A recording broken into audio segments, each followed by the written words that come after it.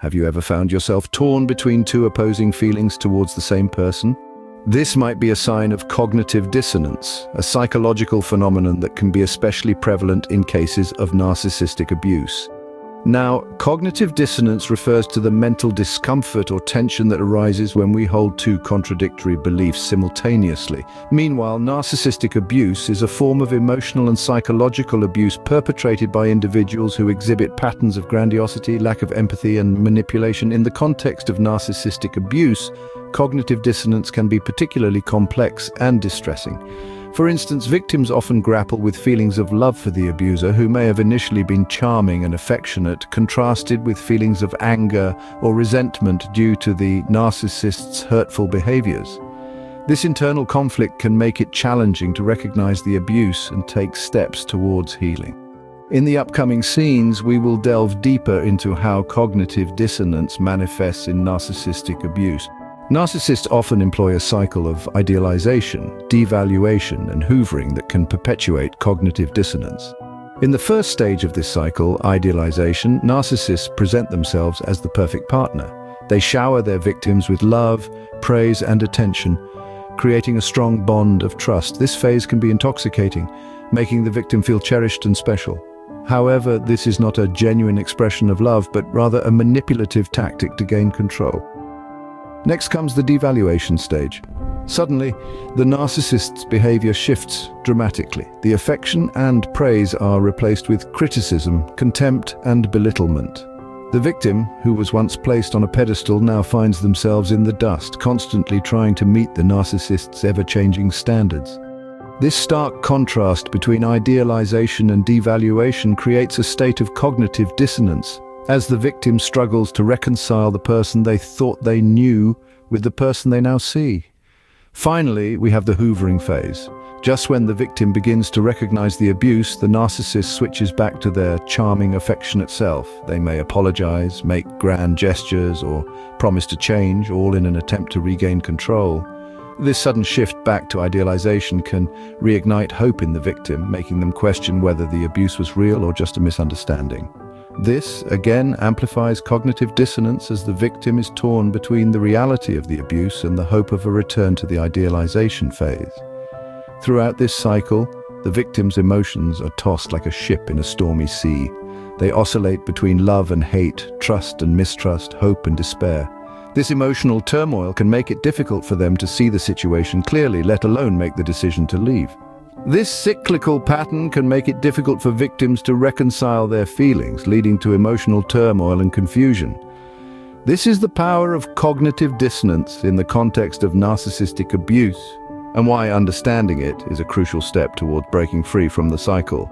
The effects of cognitive dissonance can be far-reaching, affecting both the victim's emotional well-being and their ability to break free from the abusive relationship. Imagine a whirlwind of emotions, continually twisting and turning, never settling. That's the kind of emotional turmoil victims of narcissistic abuse often experience. The tug of war between love and hate, the stark contrast between the idealization and devaluation phases, creates intense feelings of anxiety, depression, and confusion. Cognitive dissonance fuels this emotional storm, making it hard for the victim to find a moment of calm. Even more challenging is the struggle to leave the narcissistic abuser. Cognitive dissonance creates a mental fog blurring the line between the abuser's manipulative tactics and the genuine moments of affection. The victim clings to the hope of reliving the good times, making it difficult to accept the reality of the abuse. This struggle, this conflict within, often leads to prolonged exposure to the damaging relationship, further deepening the scars left by the abuse. But perhaps the most insidious impact of cognitive dissonance in narcissistic abuse is the tendency for self-blame. Narcissists are masters at projecting blame onto their victims, and cognitive dissonance only adds fuel to this fire. The victim may start to question their own perceptions, their own worth, internalizing the blame and feeling a deep sense of shame. This can lead to a damaging cycle of self-deprecation, further eroding the victim's self-esteem and self-worth. Cognitive dissonance, though a normal psychological response, can have a profound impact when paired with narcissistic abuse. It can amplify the emotional turmoil, make it harder to leave the abusive relationship and lead to damaging self-blame. But remember, acknowledging these effects, understanding the role of cognitive dissonance, is an essential first step towards healing. Understanding the impact of cognitive dissonance is the first step towards breaking free from the cycle of abuse. While cognitive dissonance can make navigating narcissistic abuse challenging, there are strategies you can employ to overcome this mental discomfort. The first step is to cultivate self-compassion. Understand that the turmoil you're experiencing is not your fault.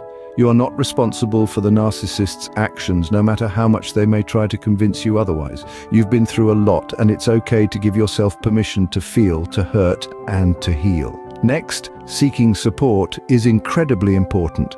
The maze of cognitive dissonance can be difficult to navigate alone. Reach out to professionals who specialize in narcissistic abuse, such as therapists or counselors. They can provide you with the tools to understand what you're going through, validate your experiences, and guide you towards recovery. Simultaneously, focusing on healing is vital. Prioritize your well-being above all else. This might mean setting boundaries, stepping away from the narcissist, or cutting ties altogether. It's important to remember that it's okay to put yourself first. Fill your life with activities that bring you joy and help rebuild your sense of self-worth. This could be anything from reading a good book to taking up a new hobby or spending time in nature. Anything that helps you reconnect with who you are at your core, beyond the narcissist's influence. While it's a complex journey, overcoming cognitive dissonance is possible. It's about breaking away from the narcissist's distorted narrative and reclaiming your truth. It's about acknowledging the pain, but also recognizing your strength, resilience, and the capacity for growth that lies within you. And finally, remember that you are not alone in this. There are countless others who have walked this path and emerged stronger on the other side. There are communities and resources available to support you every step of the way. Remember, cognitive dissonance is a normal response to an abnormal situation. You're not alone, and with time and support you can heal from the trauma of narcissistic abuse and build a healthy, fulfilling life.